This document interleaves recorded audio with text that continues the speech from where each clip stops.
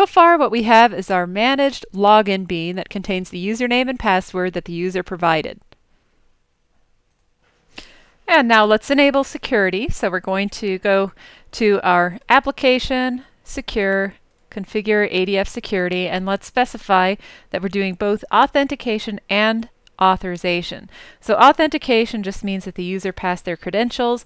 Authorization means that once they've been authenticated that they can actually access the resources that they're trying to access according to, you know, their group permissions.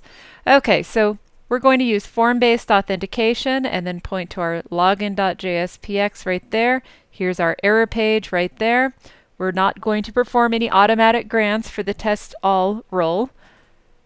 And we're also not going to redirect upon authentication because our code is already doing that for us. Okay, so we hit finish. Next, I'm going to create users. Once again, go to secure. You'll see that this is editing the jazn-data.xml file. I'm going to create a new user called Bob. Like this.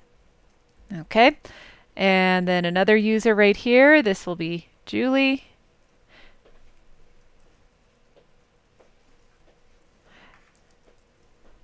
And then we're going to create an enterprise role called Manager Group. We're going to add just Bob to that group. And now we're going to create a new application role, and we'll call this Manager. So it's always the best practice to uh, separate the users, not have the users uh, directly be associated with application roles. Rather, you want to associate users with enterprise roles and then enterprise roles with application roles. Okay, so now that we have that, okay, we're going to have those be related to each other. So let's just review this. Users. Bob belongs to manager group. Manager group belongs to manager. And then we want to look at the grants that are given to manager. So I'm interested in web pages. Okay, so let's see what we've got here. We've got our error and login pages. Those automatically were given page definition files. Um, those page def files aren't necessary though because we're not uh, trying to access any bindings or anything, so we can delete that. And we can also go into our data bindings. We should go into the data bindings and uh, get rid of these references here as well.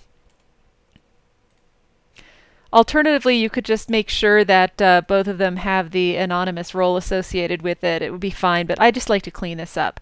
Let me get rid of these two guys right in here as well. Now let's go back here my protected page, I do want to have that protected, right? So right now it is a public page. There's no page definition file associated with it. I can right click and say go to page definition. Now look what happened here. The icon is changed. I can now grant this to an application role. I'm going to make that available only to manager. Okay. And so now we're finished with that. And if you want, you can create a totally public page that links to the login page if you want, or you can just go directly to the login page. I'm just going to right click on here real quick. And now we're going to run this page and let's log in as Bob.